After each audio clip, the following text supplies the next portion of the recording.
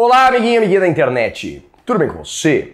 Hoje a gente vai se preparar para a prova de matemática da FUVEST resolvendo questões que costumam aparecer todo ano sobre geometria plana espacial envolvendo progressões, PA e PG, progressão aritmética, progressão geométrica, olha só que divertido, olha só que legal.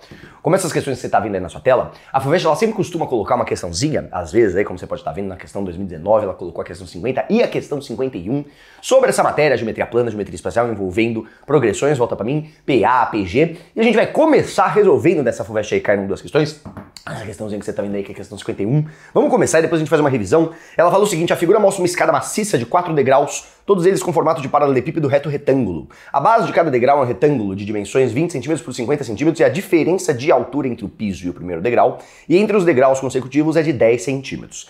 Se essa escada for prolongada para ter 20 degraus, mantendo o mesmo padrão, seu volume será igual a. Primeiro, né? Você entendeu o que ele está perguntando? Ele está pedindo o volume da escada. Quantos degraus tem a escada? Tem 1, 2, 3, 4. Tem 20 degraus. No desenho só tem 4 degraus, para te mostrar aí como é que a vida funciona. Mas a escada de verdade vai ter 20 degraus. Vai ter o primeiro, o segundo, o terceiro até o vigésimo degrau.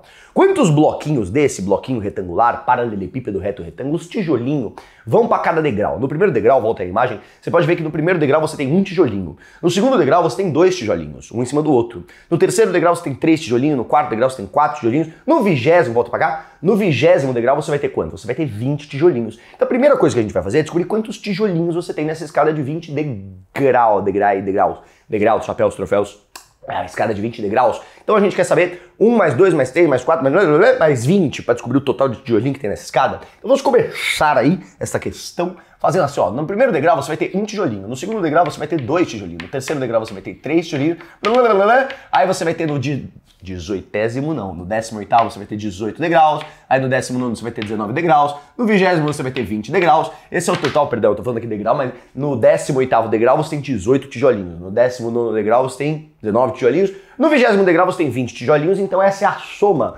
o resultado dessa soma vai te dizer quanto tijolinho que tem nessa escada. Aí o que, que você faz? Sorrateiramente, sem ninguém perceber na FUVEST, você pega a sua calculadora e vai lá, 1 mais 2 mais 3 mais 4 mais 5 mais 6. Ou você, trivial, isso aqui é fácil ver que de cabeça dá quanto? Isso aí dá 210. Olha só como eu sou um gênio. O professor é um gênio. Sabe como você sabe que isso aqui dá 210? Não é por calculadora, não é por genialidade. Sabe o que você vai fazer? Você poderia usar a sacanagem de PA e PG, mas Esqueci, foi mal, perdão. Esqueci PA e PG. Vamos tentar resolver de outro jeito, maracutaia. Vamos fazer o seguinte, ó. 1 mais 2 é 3. 3 mais 3 é 6. 6 mais 4 é 10. 10 é...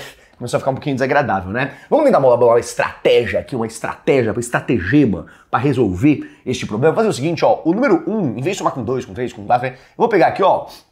O número... Eita, nós. Vou pegar aqui o número 1, a minha lousa não gostou dessa estratégia. Pegar aqui o número 1, ó, opa, quanto é 1 mais 20? É 21. Olha que fofo, 20 mais 1 é 21. Quanto que é 2 mais 19? Também é 21. Quanto é 3 mais 18? Também é 21. Quanto é 4 mais 17? Também é 21. Sempre vai dar 21. Pegar um daqui com um daqui, a soma sempre vai dando 21. Aqui você vai um a mais, aqui você vem um a menos, sempre vai dar 21. Então todas essas somas vão dar a mesma coisa. Quanto que elas vão dar? Elas vão dar 21. Quantas sominhas a gente tem aí? A gente tá fazendo casais, né? Quer casar comigo? né? A gente tá fazendo casais. A gente tá fazendo casais. É o 1 com 20, o 2 com 19, o 3 com 18. A gente tá fazendo casais, fazendo duplas. Não é trisal, tá? É dupla, é um casal. Entre 20 pessoas, dá pra fazer quantos casais? Dá pra fazer 10, né? Se você tem 20 pessoas, casal, casal de 2, tá? Casal de 2, se você tem 20 pessoas, divide por 2 pela metade, você vai ter 10 casais. Então a gente tem essa soma que tá dando 21 aparecendo quantas vezes? Ela tá aparecendo 10 vezes. Ela tá aparecendo 10 vezes. Tá aparecendo, ó, 10, perdão. Tá aparecendo 10 vezes. 10 vezes? Cadê? 10 vezes. Como assim 10 vezes, professor? Ué, 10 vezes. Você tem 20 pessoas, vai fazer 10 casais? Perdão, você tem 20 pessoas, vai fazer casal? 20 dividido por 2, você vai ter 10 casais, então é 21 vezes 10 que eu tô querendo aqui. Isso aqui vai dar o quê? Vai dar 210. Olha só, você descobriu essa soma aí muito louca fazendo essa brincadeira, fazendo essa brincadeira. Eu vou te deixar aí de tarefa de casa, sexto fazer para mim a soma de 1 a 100. 1 mais 100, 101. 2 mais 99, 101. 3 mais 98, 101. Quantos casais dá para fazer com 100 pessoas? Metade, 50. Descobre para mim quanto que é a soma de 1 até 100. De 1 até 100, descobre para mim. Vai dar 5.050. 5.050. Mas aí é o que, que acontece agora? Eu descobri que eu tenho 210 desse tijolinho. E qual que é o volume desse tijolinho? Ele falou, volta pra cá, volta a imagem aí, que o tijolinho é um tijolinho 50 por 20 por 10 centímetros. Só como que eu já vi nas alternativas que tá em metro cúbico, a unidade desse volume tá em metro cúbico, o que, que eu vou fazer? Em vez de usar as unidades em centímetros, eu vou passar centímetros para metros. Eu vou passar centímetros para metros. O que, que eu vou fazer? Em vez de colocar 50 centímetros, eu vou colocar o quê? 50 centímetros são quantos metros? 50, lembrando que um metro você tem 100 centímetros. Então 50 centímetros é meio metro. 20 centímetros é 0,2 metros.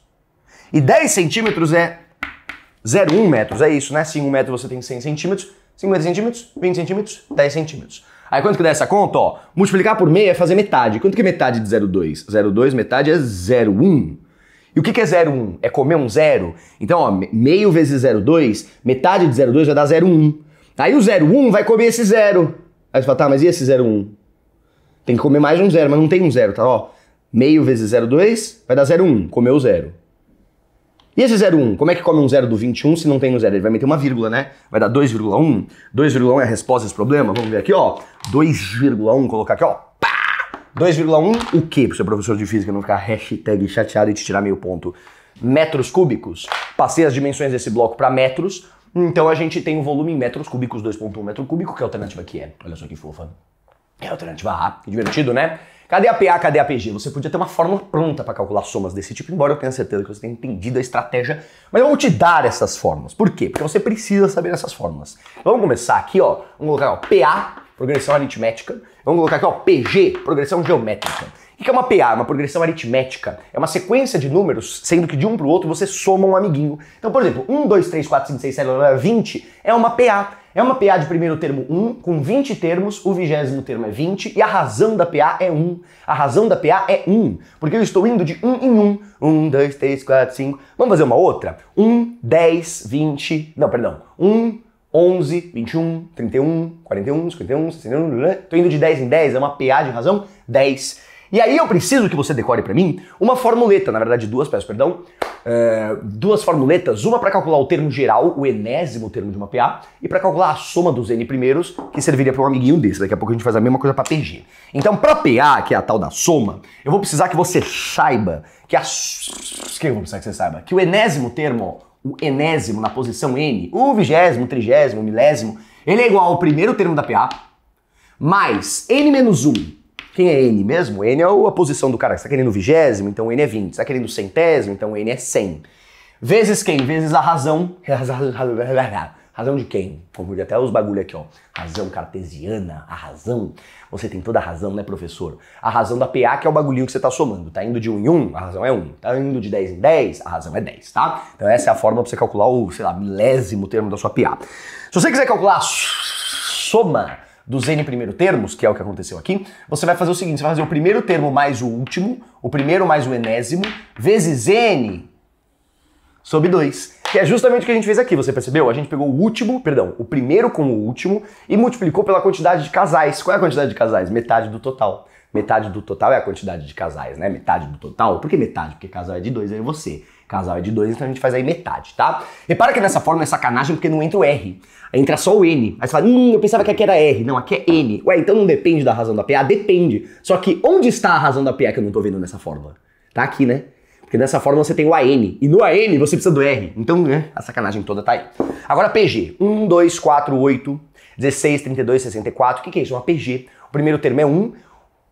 E a razão é quanto? A razão é 2, porque eu estou dobrando a PG, ela multiplica. Então, 1, 2, dobrei. 4, dobrei. 8, dobrei. 16, dobrei. 32, dobrei. 64, 128, 256, 512, 1024, 2048, 4096. Vai indo assim, você vai dobrando. Então, é uma PG. Qual é o enésimo termo de uma PG?